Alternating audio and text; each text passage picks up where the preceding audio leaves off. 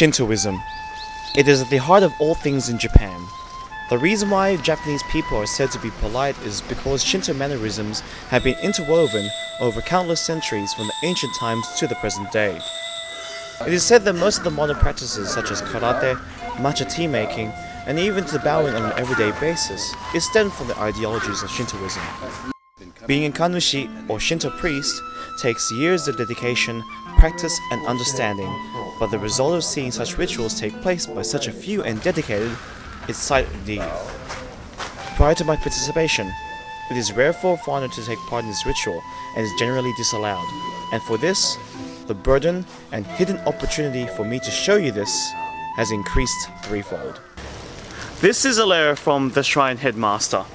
Um, one of the uh, it's the Kumano Hayatama Taisha, which is the uh, one of the three major shrines of the Kumano Kodo pilgrimage. Essentially reads, "Please be aware that Shinto ceremonies are divine, and not just anyone can do. Essentially, those who have not acquired the qualifications of the Shinto priesthood are not allowed to perform these rituals in public." Um, with that being said, though, I'm, I'm absolutely grateful for the fact that we were able to participate in coming here today and um, experiencing what it's like to be uh, to be a shrine priest. And it's something that I'm going to hold with an utmost respect and hopefully show everyone um, a, glimpse of what it's like to come into the secret world that we see as often as tourists. So come and follow us. Enter the world of mystical now. It's gonna be spooky. Hayatama Taisha is one of the grand three shrines in the Kumano Kodo Pilgrimage, and is nestled in the city center of Shingu, a town approximately two to three hours by train from Nagoya or Osaka.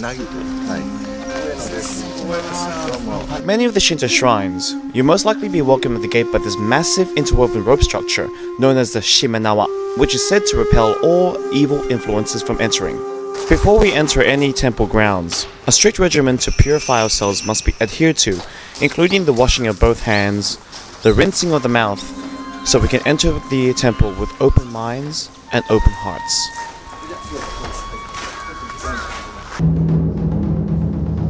The iconic sounding of the taiko drum to awaken the spirits and to ready the gods of our arrival.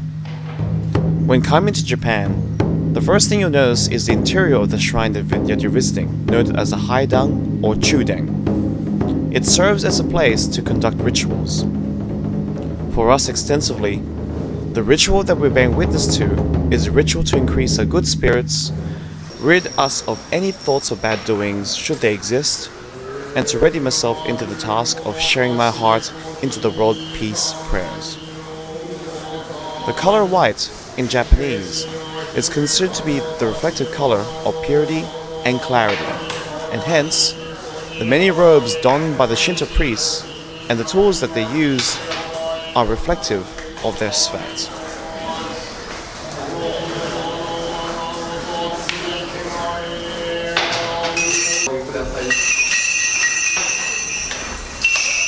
For the Kumano Kodo shrines, the nagi leaves are said to be the holiest plant and is a perfect way of offering to the kami that resides in the shrine. Like all things in Japan, before we provide an offering to anyone, we want to ensure that the best side of the item is facing the receiver so that they can appreciate the appeal of the item that is given.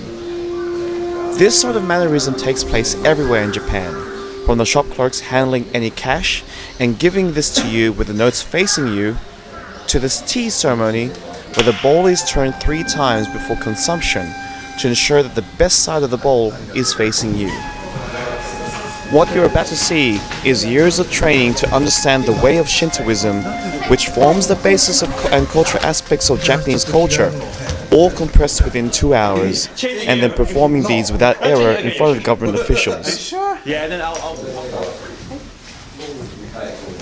I have to admit, being here, wearing the the robes, there's something quite special about it that I can't really explain.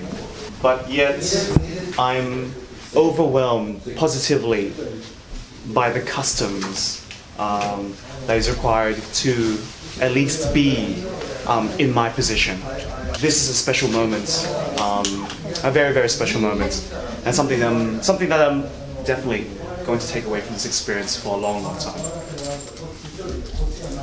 Easy to forget. Whenever you finish a bow or something. The code that we have to follow was actually quite intriguing, and everything is made to be as near perfect as possible, including the stances and the positioning of our hands. Having our hands positioned near our hips ensures that our bodies are wide open to express ourselves. I was actually very, very proud to hear that the shrine priest commented positively about my stance. The wooden item I'm holding in my hands is something you'll see when you visit Japan. It's something called a shaku. Traditionally, it held inscriptions for the priests to conduct their prayers and is used as a beacon to hone away bad luck and to maintain focus on the events. There are also three types of bowing, each bow appropriate to the intensity and the formality, which again is reflective of the mannerisms in everyday Japanese society. A standard 45 degree bow and the really formal 90 degree bow combined with the shaku position near a heart line to ensure that we express this move with flow. One thing that I think everyone would benefit, especially when they visit the shrines, is the positioning of our hands when we clap. Please take a careful inspection.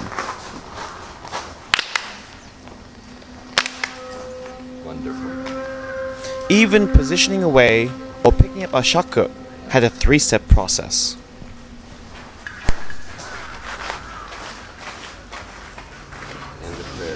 The.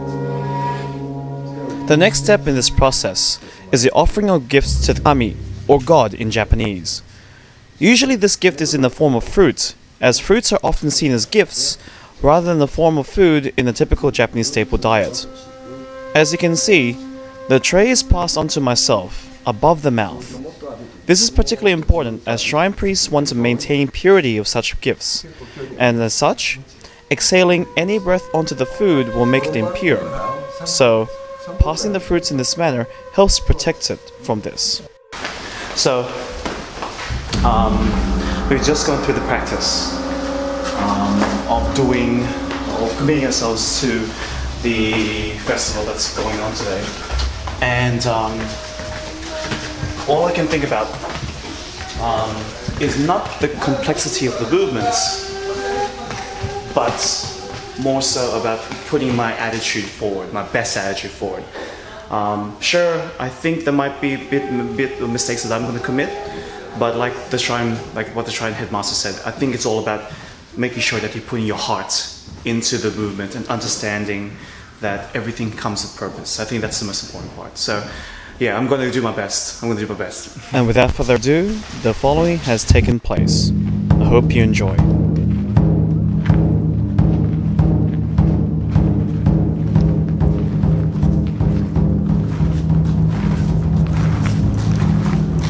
If you carefully watch our footsteps, everything has to be in sync as the flow and balance is maintained, so greater awareness of our environment and careful attention to the person in front and remembering each step was itself a challenge.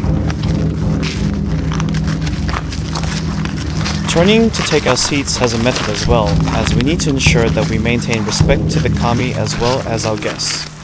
So we have to turn in a particular manner in which we are always facing our guests.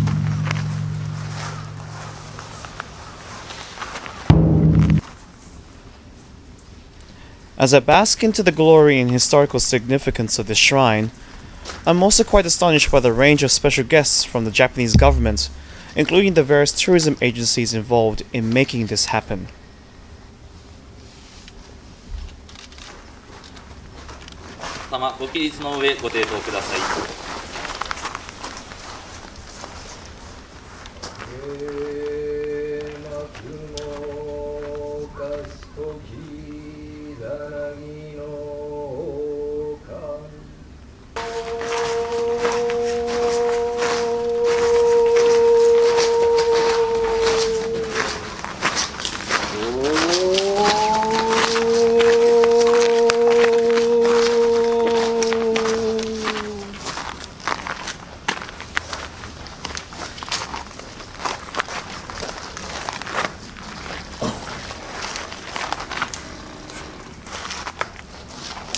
When it got to this part of the ceremony of passing the trays, I had to remember to make sure that my breath doesn't fall into the fruits.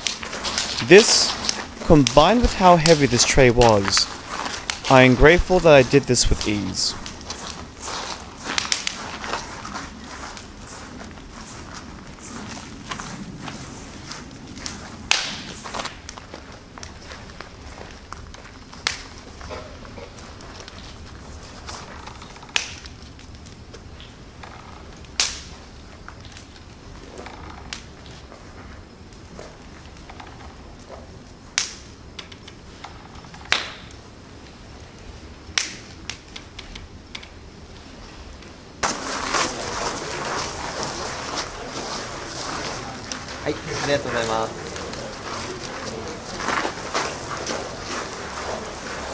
Um, so the ceremony has just completed. Um, I'm lost for words in terms of describing my actual emotions when it comes to the ceremony. Um, only because, yeah, like for my many close friends that know me, um, fortunately I've had a pass. I've, I've had a family um, pass away. A family member pass away two weeks ago. Um, so going through this experience and knowing that I'm praying for world peace, but also having her in the back of my mind, um, this amplified those feelings. But nonetheless, the feelings were quite positive. Um, yeah, it's it's definitely an opportunity um, that I'm going to take away from the rest of my life. Um, just knowing the fact that not many foreigners like myself have the opportunity to engage in this sort of activity, um, I'm actually very very fortunate to be able to be selected, um, number one, and be able to um, pray for world peace and be able to represent at least the, the foreign community um, in opening up the doors for Japan. Um, yeah, in terms of my overall feelings, there's nothing I can't there's, I can't explain it. It's it's been it's been an overwhelming but positive experience.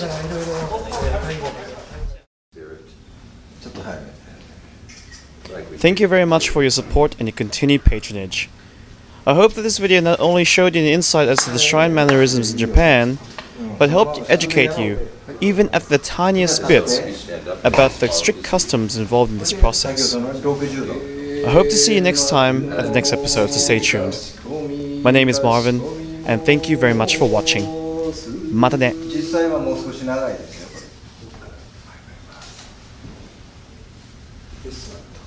れ。ね。うん、もうそれはもうこれ終わるまで実際でしょ。でそれに合わせてくれ。ちゃんと神社長